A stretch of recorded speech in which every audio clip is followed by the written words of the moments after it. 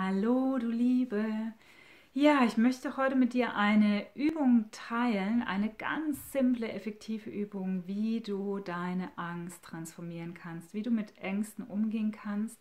Es ist eine super wichtige Übung, die kannst du wirklich in deinen Alltag integrieren.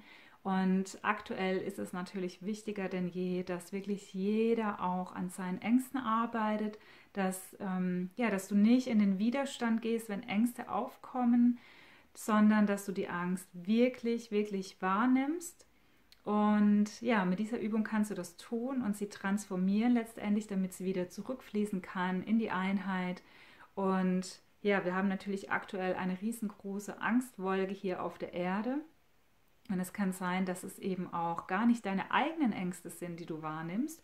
Es kann aber auch sein, dass Ängste hochkommen, ähm, die jetzt getriggert werden, die eventuell schon seit Jahrtausenden in deinen Zellen gespeichert sind oder auch aus deiner Kindheit, aus früheren Leben, wo auch immer die Ängste herrühren. Letztendlich ist es total irrelevant. Wenn du die Angst wahrnimmst, dann mach bitte diese Übung und gib sie auch gerne weiter. Die Übung kann unter Umständen etwas, also eventuell länger dauern und dann kannst du einfach zwischendurch mal den Pausenknopf drücken ähm, ich empfehle dir, dass du erstmal mit den kleineren Ängsten jetzt hier anfängst und etwas übst und dann kannst du die Übung nämlich auch ohne Anleitung alleine machen. Wenn es aber um eine Angst geht, die sich sehr überwältigend anfühlt, dann ja, appelliere ich hier an dich, dass du hier eigenverantwortlich handelst. Ich muss es einfach dazu sagen, weil eventuell braucht es bei bestimmten Ängsten, vor allem ähm, eben wenn sie mit traumatischen Erlebnissen zu tun haben, dann braucht es vielleicht auch eine Begleitung. Genau. Ja, und ansonsten kannst du dich auf die ähm, Übung vorbereiten, wenn du möchtest. Eine Liste, also ein leeres Blatt Papier nehmen und einen Stift und alle deine Ängste aufschreiben. Also alle, die dir so in den Sinn kommen, die aktuell noch in dir sind oder die immer mal wieder aufploppen. Schreib dir wirklich alle auf, mach dir eine Angstliste und dann kannst du jede Angst einzeln durchgehen. Also für jede Angst die Übung einmal durchlaufen und danach dann die nächste Angst bearbeiten, neu mit der Übung beginnen und so weiter. Du kannst das wirklich in deinen Alltag, in deine tägliche Routine einbauen, ja, ähm, sozusagen als eine Art Ritual, ja, Ängste loslassen. Du wirst merken, erstens, du wirst immer besser darin, deine Ängste zu transformieren und auch einfach nur da sein zu lassen. Und das Schöne, du wirst immer weniger Ängste wahrnehmen. Es ist wirklich so. Es kommen wahrscheinlich erstmal, wenn du dich eben dafür öffnest, Ängste hoch, von denen du gar nicht wusstest, dass sie überhaupt noch in dir stecken, in dir schlummern. Das ist ganz normal, weil du gibst sozusagen jetzt den Raum dafür frei. Und das ist das, was hier gerade auf der Erde passiert. Ganz viel Schatten darf jetzt an die Oberfläche kommen. Und ja, es kann überwältigend sein. Und ja, als hochsensibler, empathischer Mensch wirst du sehr wahrscheinlich auch viele Ängste von den, also von anderen oder vom Kollektiv wahrnehmen. Auch dann ist die Übung super hilfreich. Und auch wenn du an deiner eigenen Angst arbeitest, ähm, ja, arbeitest du automatisch auch für das Kollektiv. Denn stell dir vor, jeder Mensch würde jetzt diese Übung machen, jeden Tag. Ihr glaubt nicht, wie schnell wir hier in einer Liebeswelle wären. Ja, also, wir beginnen jetzt mit der Übung. Schließ hierfür einmal deine Augen und wir machen gleich drei tiefe Atemzüge, bei denen du tief in deinen Bauch einatmest und schnell ausatmest. Du kannst dann ganz gezielt mit einer Angst aus deiner Liste, von deiner Liste oder auch ohne eine konkrete Angst in die Übung gehen. Und ich erkläre dir gleich alles weitere. Also schließ deine Augen und ich hoffe natürlich auch, dass du ungestört bist. Das ähm, habe ich vergessen zu sagen, aber das ist ja klar. Nimm drei tiefe Atemzüge, atme tief ein in deinem Bauch. Und dann schnell ausatmen. Und noch zweimal tief einatmen.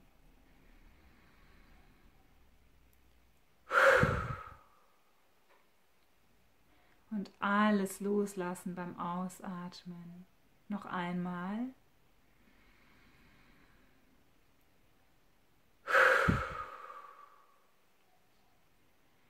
Sehr schön. Wenn du möchtest, dann mach das Ganze noch ein, zwei Atemzüge und komme dann in deine normale Atmung zurück.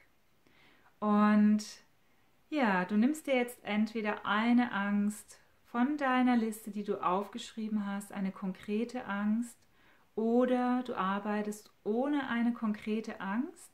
Das ist in dem Fall wirklich nicht so relevant. Und jetzt scanne einmal von Kopf bis Fuß deinen Körper, dein Energiefeld nach dieser Angst oder überhaupt nach Angst. Du kannst wirklich von oben an deinem Scheitel beginnen. Du kannst dir vorstellen, dass eine Art horizontale Lichtplatte von oben bis unten durch deinen Körper ja, scannt. Und eventuell wird sie an einer bestimmten Stelle langsamer, wo es eben blockiert ist, wo Angst sitzen könnte. Vielleicht weißt du auch schon direkt, wo die Angst sitzt. Vielleicht fühlst du es schon körperlich, physisch, nimmst es wahr.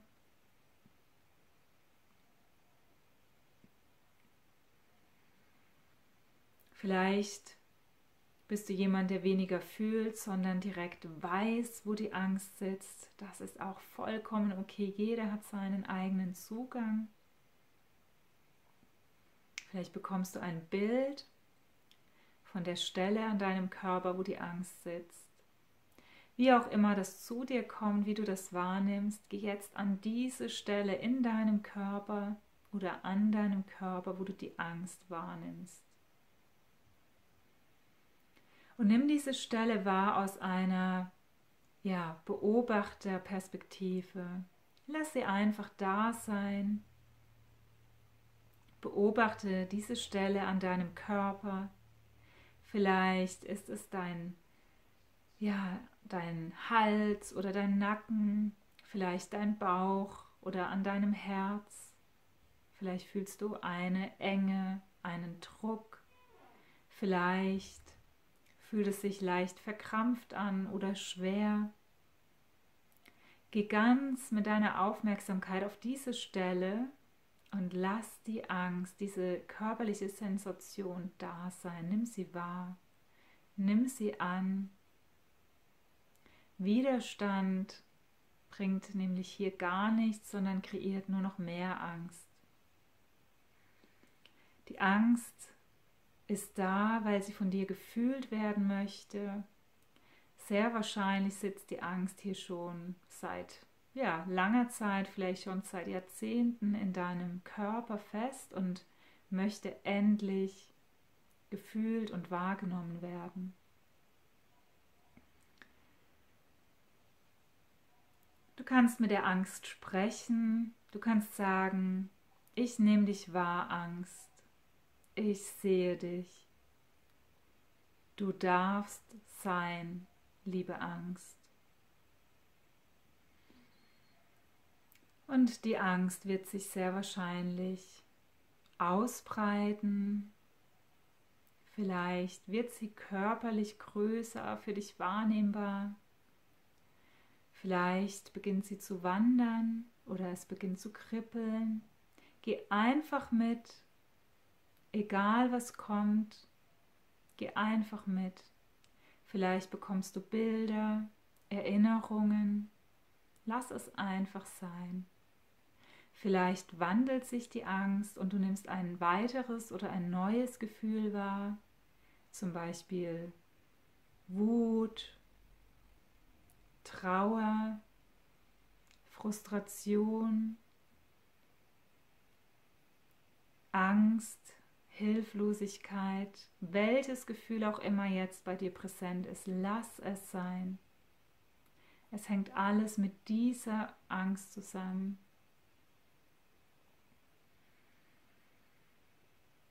Und vergiss dabei nicht zu atmen.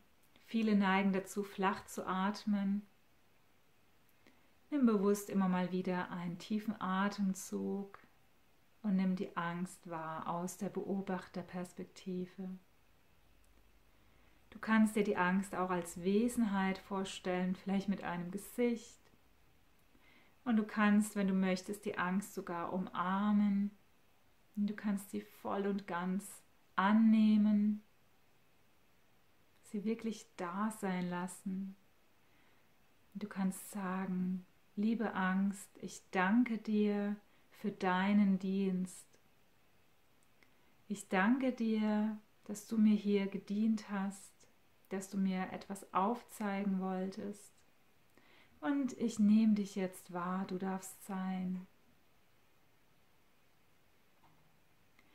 Ja, an dieser Stelle kannst du die Übung eventuell pausieren, wenn du das Gefühl hast, es stockt noch etwas. Und ja, manchmal dauert es eine halbe Stunde, manchmal eine Stunde. Manchmal geht es ganz schnell innerhalb von Sekunden oder Minuten. Pausiere also gerne hier das Video ja, und wir machen jetzt weiter. Die Angst, die hast du nun wahrgenommen und gefühlt.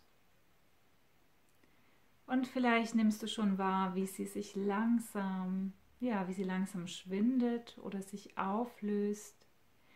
Die Angst darfst du jetzt ganz bewusst zurückschicken, zurückfließen lassen in die Einheit, wo wir alle hergekommen sind wie auch immer du das nennen magst, die Einheit, die Quelle allen Seins, Gott, wir alle, auch die Angst, wir sind von dieser Einheit gekommen und fließen dorthin zurück. Und du darfst die Angst jetzt dorthin zurückfließen lassen. Sie hat ihren Dienst vollbracht und darf jetzt wieder zurück. Vielleicht nimmst du wahr körperlich, ja, so eine Art Kribbeln oder wie es leichter wird an dieser Stelle, an welche du die Angst ursprünglich wahrgenommen hast. Vielleicht siehst du auch Bilder, nimmst wahr, wie die Angst aus deinem Körper, aus deinem Energiefeld zurück in die Einheit fließt. Lass es einfach geschehen. Ja, und jetzt nimmst du noch einmal ein paar tiefe Atemzüge und bei jedem Einatmen atmest du ganz bewusst Liebe ein. Atme ganz tief diese Liebe ein, vielleicht auch in Form von goldenem, kristallinen Licht. Und das kannst du auch ganz gezielt an diese Stelle lenken in deinem Körper, in deinem Energiefeld, an welcher eben noch die Angst gesessen hat an der jetzt Raum für Neues ist.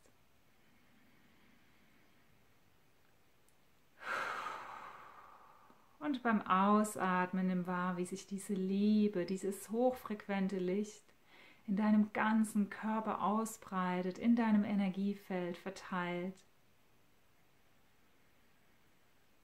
Nimm noch ein paar Mal tiefe Atemzüge, atme Liebe ein und verteile sie in deinem ganzen Körper und Energiefeld. Ja, und wenn du möchtest, dann kannst du jetzt deine Augen öffnen, langsam und dich recken und strecken. Es ist immer super wichtig, vor allem wenn du mit so ja, Gefühlen wie Angst gearbeitet hast, wenn du Schattenarbeit gemacht hast, dass du dich reckst und streckst damit auch das Licht überall hinfließen kann. Ja, komm wieder an im Hier und Jetzt.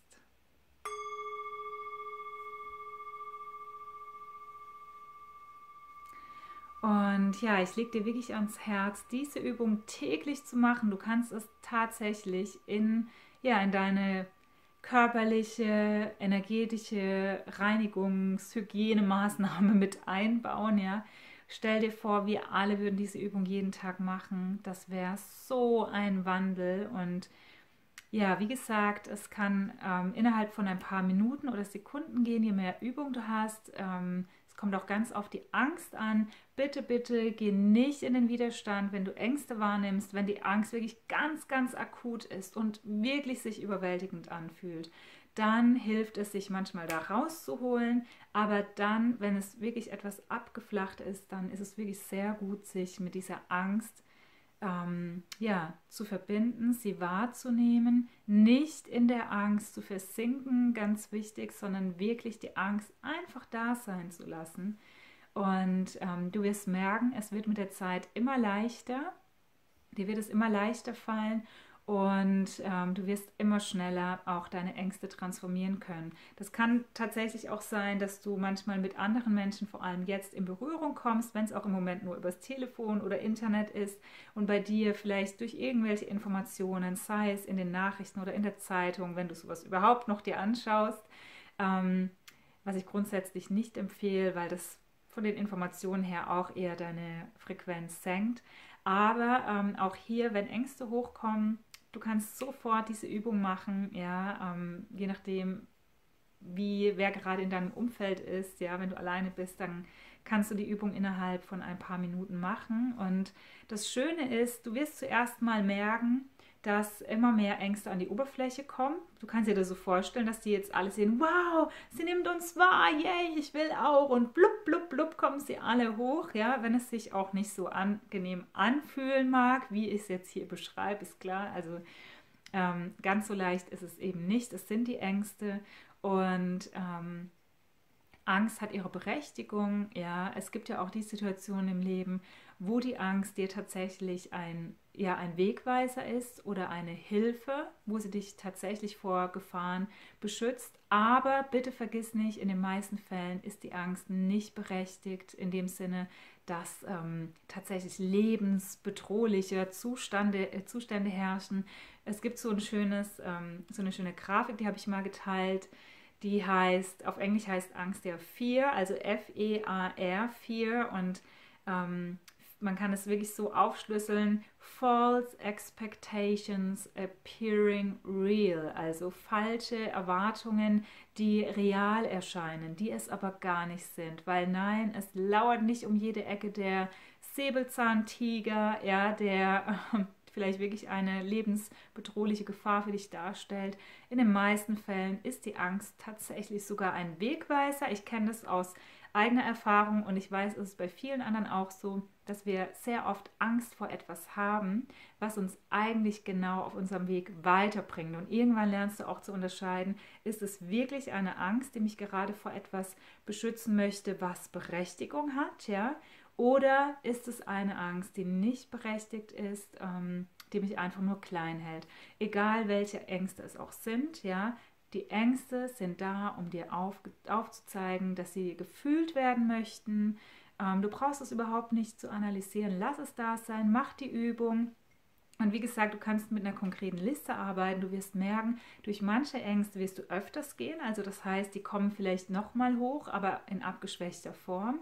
Und ähm, die meisten Ängste werden aber ziemlich schnell von deiner Liste verschwinden. Also du kannst dann auch wirklich deinen Körper abscannen und wirst die Angst nicht mehr finden. Ja, und deine Liste wird immer kleiner. Zu Beginn wird sie eventuell größer, weil du dich eben dafür öffnest und sie in dein Bewusstsein kommen, an die Oberfläche kommen, was ja hier global aktuell passiert.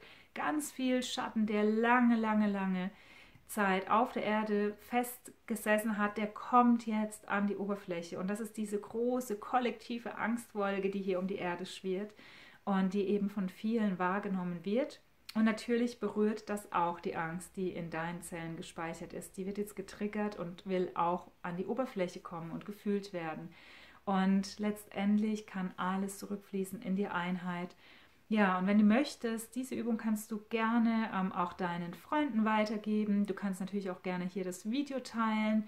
Und ähm, ja, das ist sozusagen ein kleines äh, Geschenk und auch irgendwie auch meine Hoffnung, dass ähm, oder ja, meine Bitte, dass du das teilst, entweder mit deinem ja, eigenen Worten. Du kannst ja auch deinen Freunden die Übung einfach erklären oder vormachen oder gerne auch hier dieses Video teilen. Es ist super wichtig, dass wir jetzt nicht unsere Ängste ignorieren. Die Ängste sind da, auch wir Licht dabei, der Starseeds, Wayshower und so weiter. Auch wir nehmen die Ängste wahr. Wir können sie genauso gut transformieren.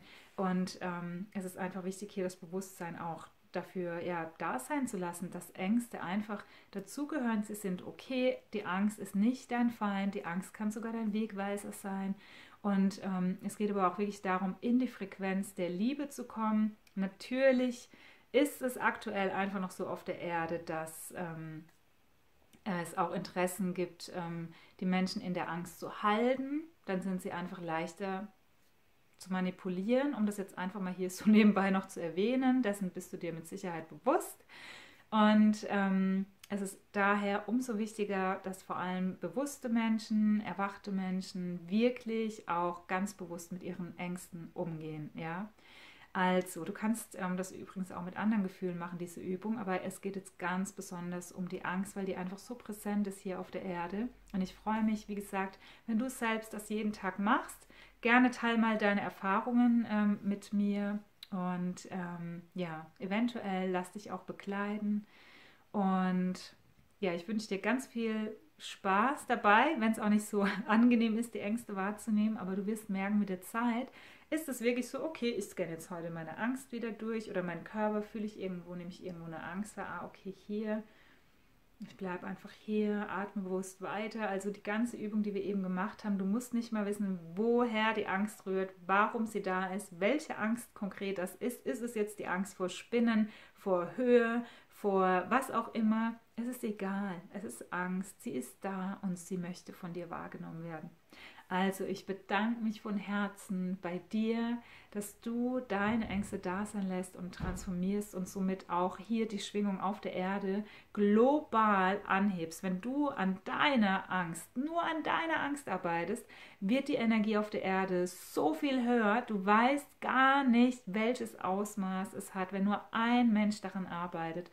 Und jetzt stell dir vor, nur zehn Leute arbeiten hier an den Ängsten weil sie dieses Video gesehen haben, geben das an jeweils zehn weitere Leute weiter und so weiter, wie sich das potenziert. Das, diese Intention setze ich jetzt mal und ich, ähm, genau, sende dir ganz liebe Grüße von Herz zu Herz und bis bald, deine Veda.